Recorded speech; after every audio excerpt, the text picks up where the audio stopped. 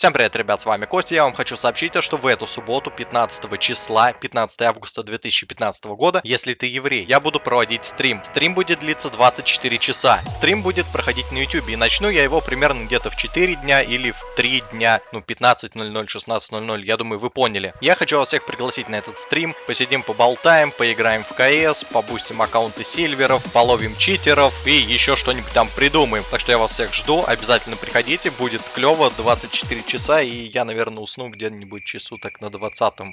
В общем, всем пока.